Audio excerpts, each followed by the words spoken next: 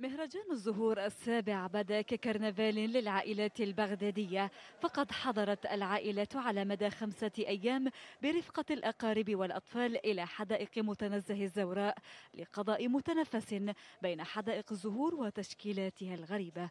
وقفت هذه البنت لالتقاط صورة وتجمعت الفتيات مقابل بيت من الزهور. العراقيين محتاجين لهيك تغيير محتاجين يغيرون من نفسيتهم يجون حتى تصدف أن العوائل يجتمعون سوية ويجون أكثر من عائلة حتى يغيرون شوية جو.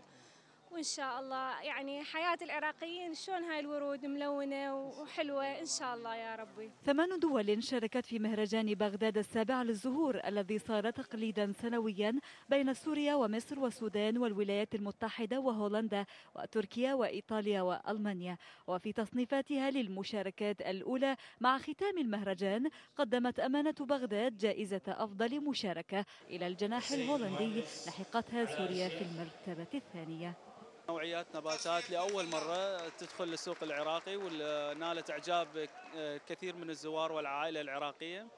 جناحنا دائما كل سنة يكون عليه كثافة وزخم فارتأت اللجنة التحكيمية بإعطانا المركز الأول لتميزنا بالعرض النباتات باعتبار هولندا البلد الأول بالعالم بالنباتات. والزهور أكثر من 150 نوع نباتي متنوع ملائم للبيئة العراقية.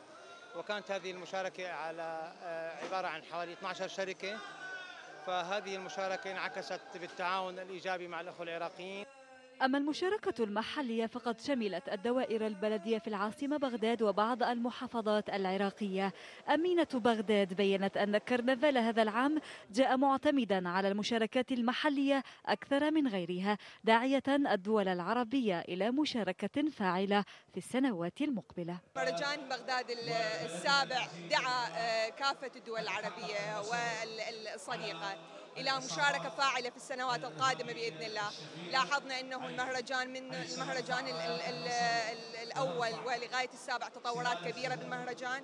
نتأمل العام القادم يكون متميز دي حقيقة المهرجان دا يميز الدوائر البلدية. ومع ختام المهرجان تمنى المتنقلون بين الممرات المزينة بالزهور أن توسع هذه التجارب في حدائق العاصمة سواء في حدائق أبو نؤاس أو مناطق سكناهم.